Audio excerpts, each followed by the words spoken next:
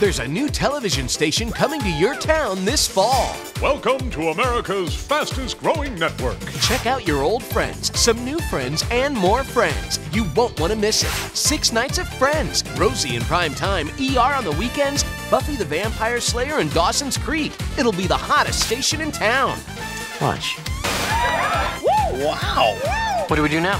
Call 1 877 WB and get the WB.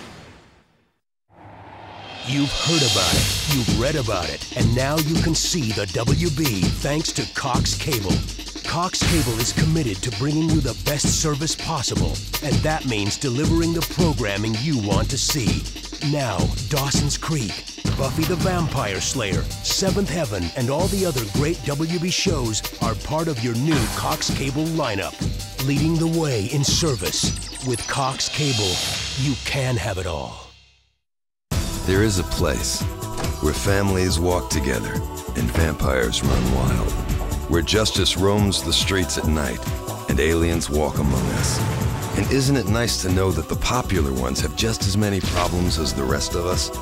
There is a place where friends are friends and nice guys finish last, where your favorite comedies run side by side with the hottest new dramas. That place is called the WB. Get ready, Pittsburgh. We're taking over. Welcome to America's fastest growing network. Starting January 18th, Channel 22 will become WB 22, and we're shifting into high gear. Great. I'll drive. See why everyone's tuning in. Let's get ready to rumble! Buffy, no, don't touch him! Pittsburgh's getting the WB right here on Channel 22. That's the bottom line. Mwah!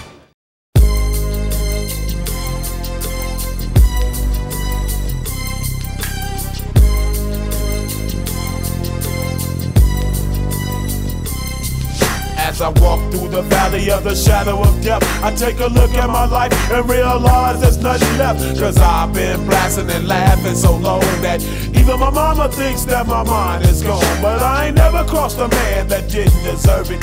Me be treated like a punk, you know that's unheard of. You better watch how you're talking and where you're walking, or you and your homies might be lying in chalk.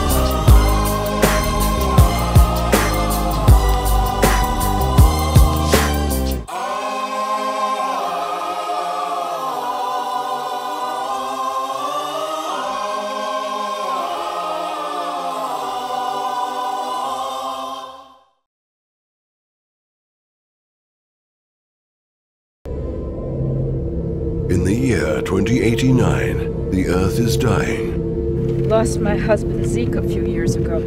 Food is scarce. You got something we want. And aborticide is mandatory. You should be on your feet in about 20 minutes. One woman struggles to make sense of it all. I'm not sure what happened last night, but I know I lost something. And when her past catches up with her,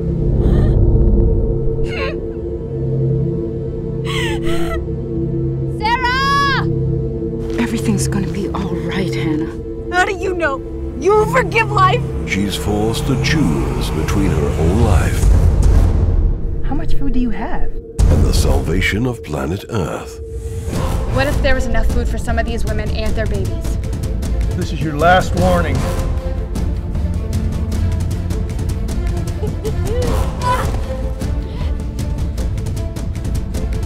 Come on. Precinct 7.